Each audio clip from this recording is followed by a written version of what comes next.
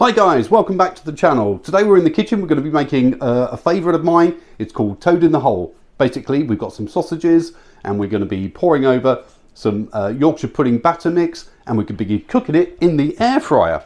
So we'll be using the Ninja uh, Flex Drawer today. We're going to be using zone 1 for the uh, Toad in the Hole and in zone 2 we're going to have some rosemary chips or as you call them in the US, uh, fries.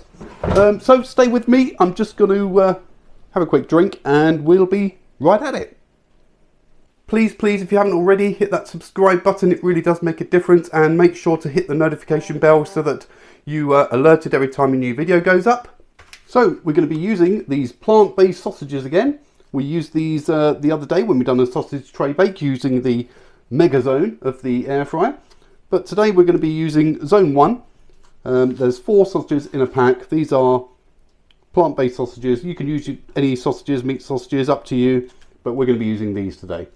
I also have my batter mix here. I mixed that up earlier. You can use packet instant sort of batter mix, but I've um, made that from scratch. You can get plant-based batter mix as well, so feel free to use whatever you want. It'll work when we um, cook the toad in the hole. So the first thing we're going to do is we're going to be putting the sausages into zone one of the air fryer and getting those browned off before then we add the uh, batter mix to create the toad in the hole. So let's do that now. And here are the uh, Beyond Meat sausages. We're going to be putting these into zone one and we're going to be sort of guessing really how many of these I can get in the toad in the hole because this meal is for me and my wife.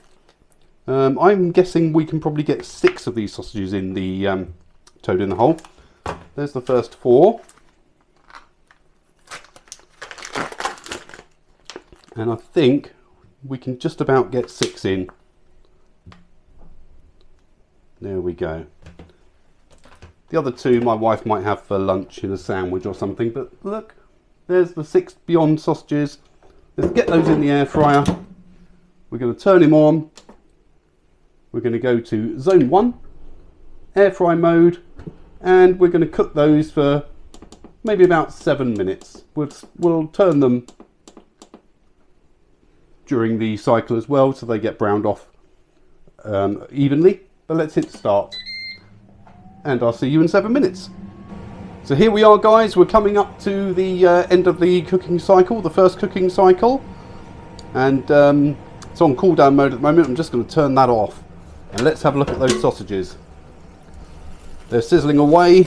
They look really good. I'm just going to pour those into this bowl just so that I can go to the next step. So what we're going to be doing today is actually using one of these liners um, to put our toad in the hole mix in. And I'm just going to put that in the air fryer tray in zone one. You can see that.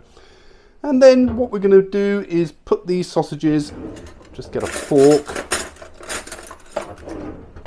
and we're going to put these sausages where we sort of want them to be in the air fryer. So I'm just going to position them, as I said, we've got six there.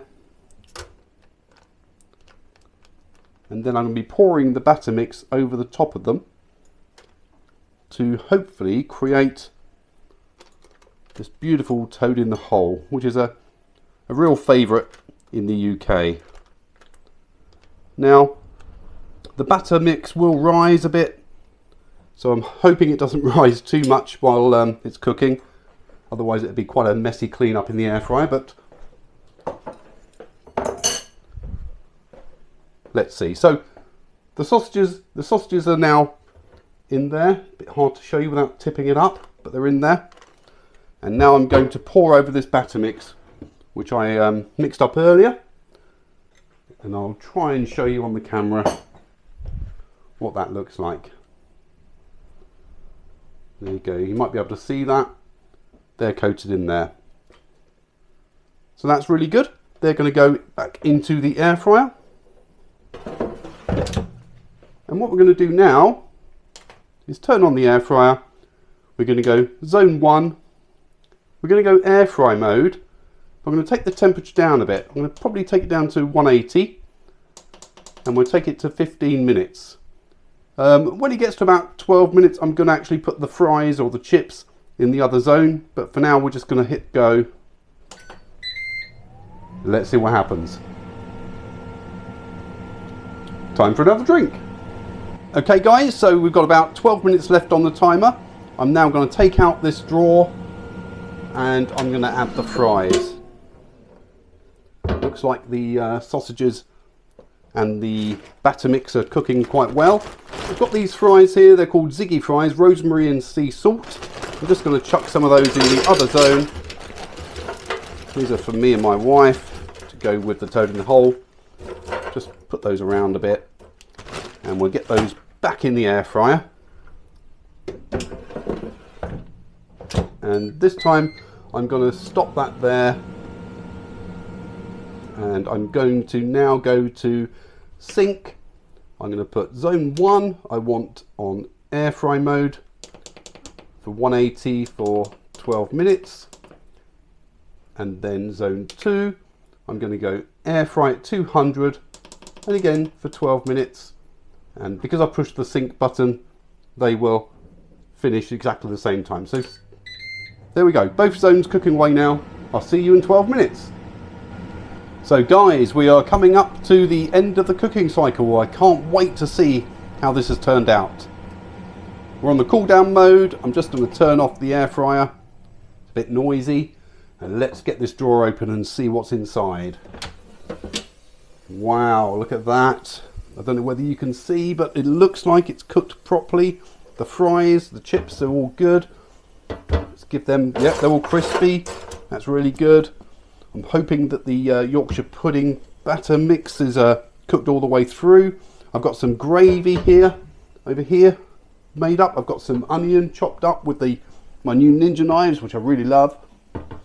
Let's get it plated up and uh, I'll give you my thoughts. So guys, here we are, all plated up. We've got the gravy, we've got our onion, we've got our chips, our fries, and we're going to give this toad in the hole a taste. Let's see how it goes.